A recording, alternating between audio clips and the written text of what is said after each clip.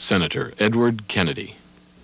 When I entered this campaign, I knew that the issue of Chappaquiddick would be raised. I talked with my wife Joan and our children because I knew we would face relentless and painful personal scrutiny. But I come from a family that believes deeply in this country. They share my view that in 1980 I could not stand silent on the sidelines in the face of national crisis and human tragedy. Inflation, unemployment, elderly people who can no longer pay for their heat or rent, families who can no longer afford to buy a home. This has been a difficult and personal campaign. I believe that I'll be judged fairly. But in any case, this is a fight that must be made. I can understand why President Carter does not want the campaign to focus on the real issues, on the economy, energy, and his mistakes in foreign policy, including his recent betrayal of Israel at the United Nations. These are the issues that matter.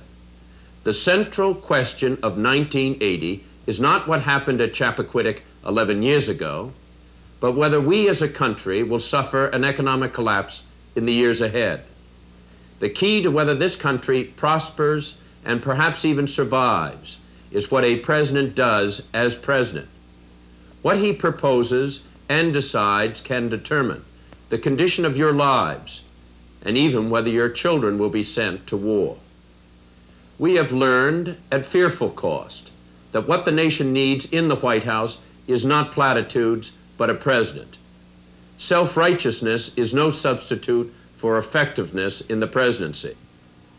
We must elect a president who can make the hard decisions and who can mobilize the best minds and talent in the nation to deal with our national crisis. We must reestablish a foreign policy that is coherent and consistent. We must be resolute in resisting Soviet aggression. We must be persistent in restraining the nuclear arms race. We must regain the confidence of our allies and the respect of our adversaries. I know I can lead America in that direction. And I know we can reverse the fearsome spiral of inflation. Alone among the candidates, I have proposed a tough and honest program of controls to stop inflation now. Incredibly, Mr. Carter's latest economic policy will only make the problem worse. It will actually add one whole point to our 20% inflation because of the Carter 10 cent tax on every gallon of gasoline. How can anyone think that the way to reduce inflation is to raise prices?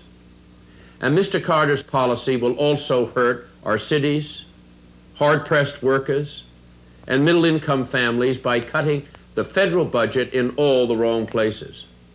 Why should the oil companies continue to receive a $5 billion subsidy while your children are to be deprived of school lunches?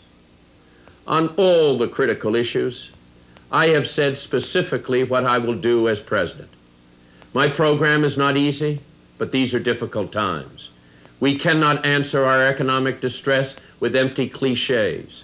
We cannot afford a foreign policy of surprises and embarrassment.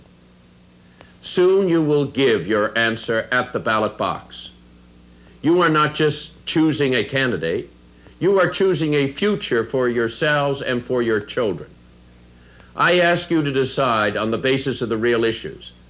I ask for your help and support.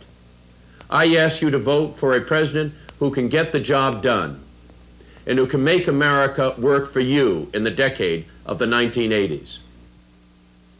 There is a way for you to fight back against 20% inflation and a foreign policy out of control. Contribute what you can to the Kennedy Campaign, Box 1980, Washington, D.C. Kennedy, Box 1980, Washington